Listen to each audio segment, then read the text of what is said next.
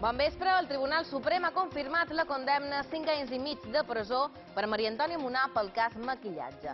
El Tribunal ratifica així el gruix de la sentència de l'Audiència Provincial contra l'expresidenta del Parlament i d'Unió Mallorquina i només l'absol del delicte de negociacions prohibides amb funcionaris.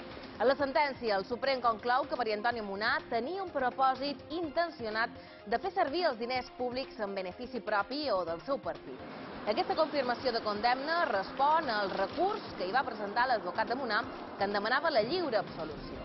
Maria Antònia Monà compleix presó preventiva des de juliol i aquesta sentència del Suprem impossibilita que l'expresidenta de la cambra pugui sortir de la presó abans que compleixi el manco aquesta condemna.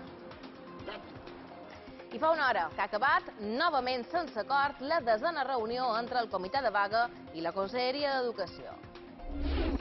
Després de 3 hores de reunió, els posicionaments continuen sense acostar-se. El comitè de vaga es planteja reactivar la vaga de docents als centres perquè no estan d'acord amb la proposta del govern. La Conselleria planteja centrar la negociació en només un punt, el calendari d'aplicació del TIL i arraconar altres qüestions com la llei de símbols o els expedients dels directors de Moó. Dijous hi ha convocada una altra reunió, però els docents no han, no han decidit encara sí assistirà. Un 30% de les explotacions rurals de les Balears tenen com a titular una dona. Avui és el Dia Internacional de la Dona Rural, una jornada que vol reconèixer el paper fonamental de la dona al camp. Amb l'objectiu de garantir la igualtat de condicions, s'ha aprovat una normativa estatal que permetrà la titularitat compartida de les explotacions. Avui hem acompanyat Margalida Mangual en el dia a dia d'una feina que coneix pràcticament des que va néixer. Primera etapa de la visita oficial a l'Uruguai del president Baufà, acompanyat d'una delegació d'empresaris de diversos sectors de les Balears. Els ha rebut l'ambaixador d'Espanya a Montevideo, Roberto Varela.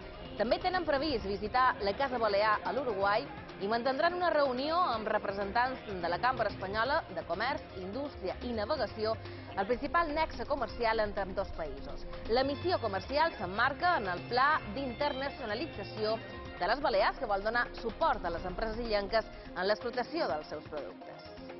I avui també ens fem una pregunta. Com ha de ser l'ensaïmada perfecta? Eh, tiene que ser esponjosa y no demasiado dulce. Mantecosa. A mi me gusta mantecosas. Que tingui molt de seïm i que estigui ben tubeta. Al carrer hi ha opinions per a tots els gustos, però per al cuiner Xaver Lluïer, un blocaire que es fa dir el cocinero fiel, la millor és la que fan a Can Joan de Saigo a Palma. Ho ha decidit després d'haver visitat per sorpresa cinc locals de la ciutat i d'haver-ne tastat l'ensaïmada. No és la primera vegada que ho fa.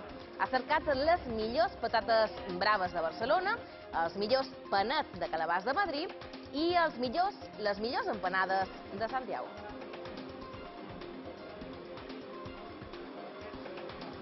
Al temps d'esports, bon vespre. El jugador del Mallorca, Emilio Ensue, ens ha sorprès avui amb unes declaracions molt fortes. El futbolista ha atacat durament els mitjans de comunicació perquè diu que fomenten una mala imatge de l'equip i menyspreen els rivals d'aquesta segona divisió. També ha estat autocrític. Diu que contra el Saragossa va fer el ridícul i que de vegades comet errades inexplicables, que és lògic que enfadin l'afició. Ensue comparteix protagonisme en aquesta jornada amb el seu entrenador, José Luis Oltra. Pel tècnic, avui ha estat un dia de reunions, primer amb tot el grup i després de manera individual amb jugadors importants com Miño, Alfaro i Chimo. Fora del futbol, us presentarem Pedro Campillo. Aquest mallorquí ingressarà divendres en el Saló de la Fama del Taekwondo Mundial a Las Vegas. I avui és un dia trist per a l'esport balear. S'ha mort Jaume Ensenyat, el gran impulsor de la vela a les Illes Balears.